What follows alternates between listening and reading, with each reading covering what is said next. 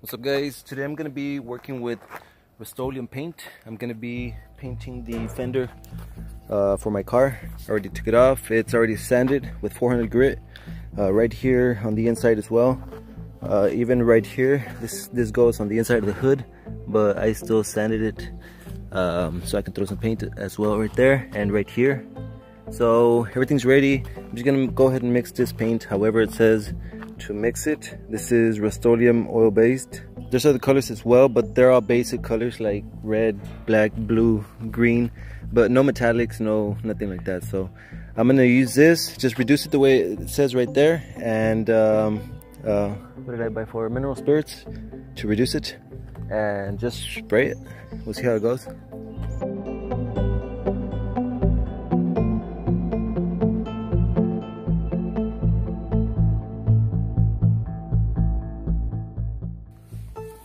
First coat. This is just to cover up some some of the green, match some of the primer, and just create some tackiness for the second coat.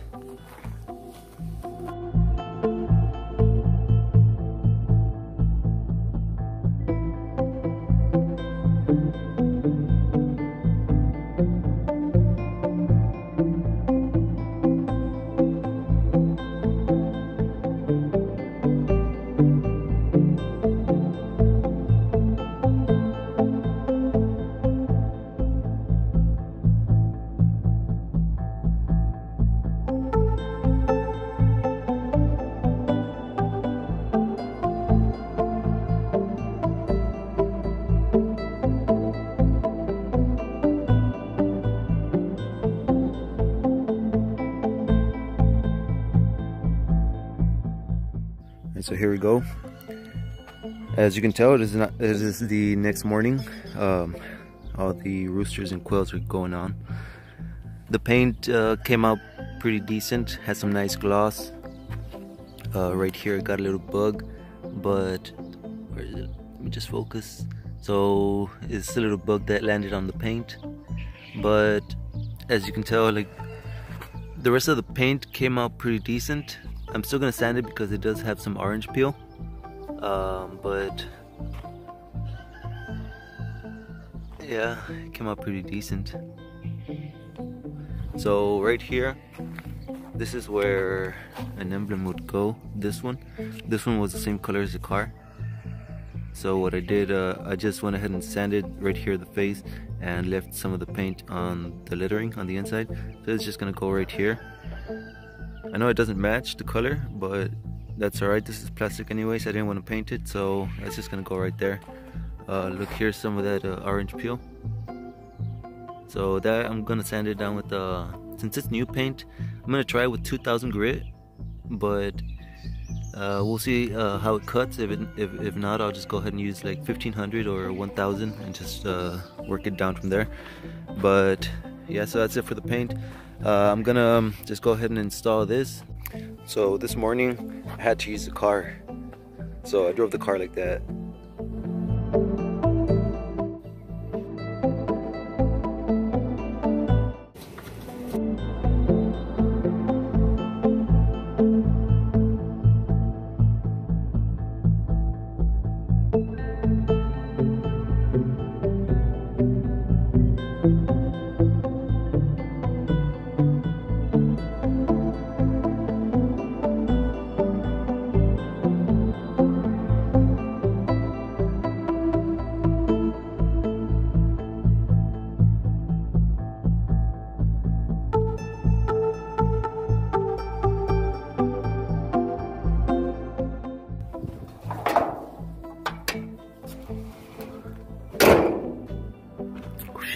check for clearance right here. Alright guys, so the hood, not the hood, the fender is on. Um, wow, let's just take a step back to look at it. Hmm, well the color looks like primer mm, with a little gloss, you know. I'm gonna give it like two, like another day or two. That way I can come back and wet sand it. Um, so this I just wanted to try out. This was an experiment I just want to see um, how good the paint is. You know I'm gonna have to drive it like that uh, for a couple days. Um, so far I like it. And I'll tell you why. Um, the quart of paint is nine dollars. And I used about what six ounces right here. I mean give or take. So I mean with this one quart I could probably do like the you know the whole front end like the hood the other fender and the front bumper um, just reducing it the same way as I did here. There are other color options you know as Rust-Oleum but they're all just basic colors no metallics. Uh, but they have like you know red white. They have this um, ivory almond color an almond color. I thought that one looked pretty cool too but you know I just wanted it to see if it would work and to match the car the interior. Did I, did I show you guys the interior it's still a work in progress but yo check out that headliner. It came out pretty cool huh? So this the fabric I bought it at Walmart. Uh, it was like three dollars and six three dollars and forty seven cents a yard. So I bought two yards. So this came out to 780 something 790 um, two yards and I used right here this is the adhesive that I used the Gorilla. Um, I bought this one there was other ones but I bought this one because this one said it bonds fabric paper and wood plastic and whatever. So fabric was one of them and paper I ordered check this out. This is a manga comic book I ordered from eBay. Um, you know I don't read these. These are just comics and especially this is in Japanese. But the previous owner this is a pre-owned copy. Um, but the pre previous owner like I guess he might have collected or something he sent it well packaged. I mean it came in a bubble wrap and then in a uh, what is this a ziploc bag and then in one of those bubble wrap mailers. So I mean considering that I'm just thinking of getting a knife and cutting each page I'm gonna cut each page. This is the idea you know I'm not 100% sure yet but right here on the roof since it's already primered I was thinking of spraying some of that same adhesive the Gorilla Glue and just spray some on top and just uh, paste the manga pages right here. And then afterwards just go seal it with a coat of clear. But that's an idea I already um, already decided on another idea. So that's gonna wait uh, for something else. Headliner I like it so I'm thinking of painting the cars similar to these colors which we got like the grays or a black uh, and red. And we got some white but I don't want to paint the car white. I had started right here on this pillar um, just sticker bombing. But I decided not to. I'm gonna go ahead and take these stickers off. Well one because either I forgot to wipe down the pillar the the little pod plastic thing. Uh, it might have had some armor on because some of the stickers are peeling. Um, and another thing is because the roof is already colorful enough I don't want the pillars to be colorful. Um, I had also started right here you see these stickers uh, on the mirror. I had sticker bomb that that mirror right there sorry so yeah I'm not liking those sticker bomb right there this is the first time ever trying to sticker bomb something and you know, it might come out pretty cool on something else, but considering the heat and the armor all maybe like a bunch of little things in between.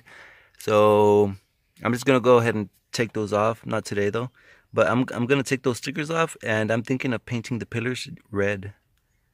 I don't know, just red. so we'll see. And for the outside, if I go through with the idea, I'm thinking of just.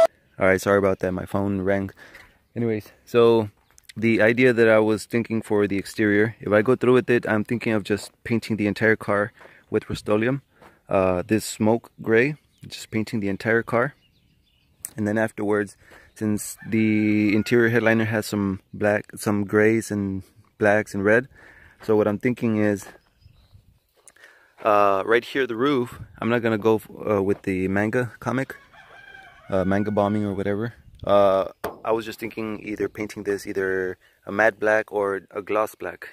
Gloss black for a more sealed finish, but we'll see. Just black rooftop, the entire car, this gray, and this little rain rail, rain guard or whatever.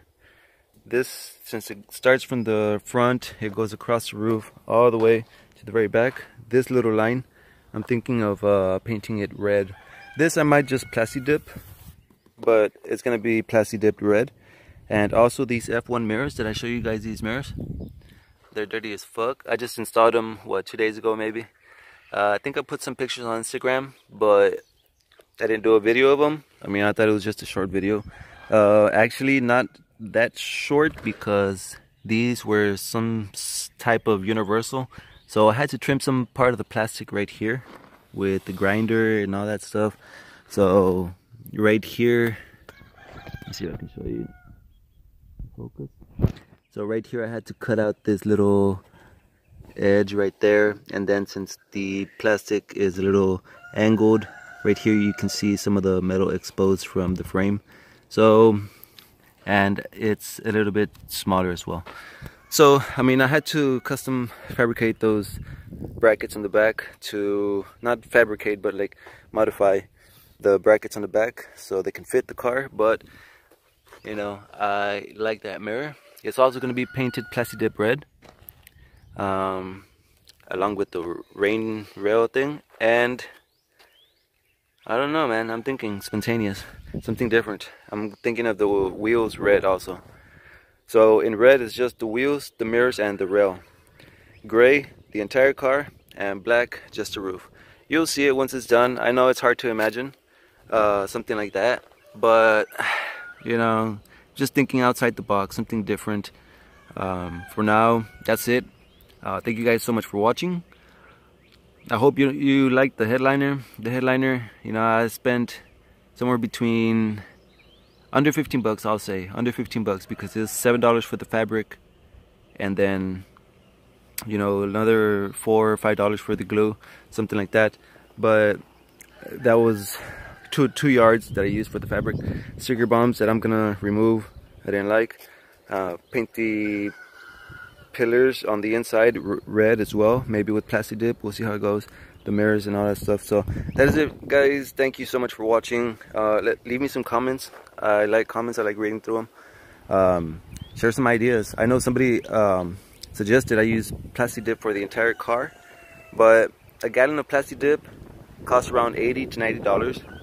And you know like that's not that i've been looking but i've you know like skimmed and i saw the price so it's like 80 to 90 dollars for a gallon and I haven't used it. So Rust-Oleum you know it's nine dollars a quart. If I paint the car the same way I'm going with maybe three quarts I'll be done. And you know maybe some uh, mineral spirits like I think one quart maybe yeah one quart would do. So average you'll spend under $50 for an entire car. So you know even if you change colors. But that's it guys. All right that's it. Uh, thank you so much for watching subscribe, like the video, share it if you can, and I'll see you in my next one. Peace out.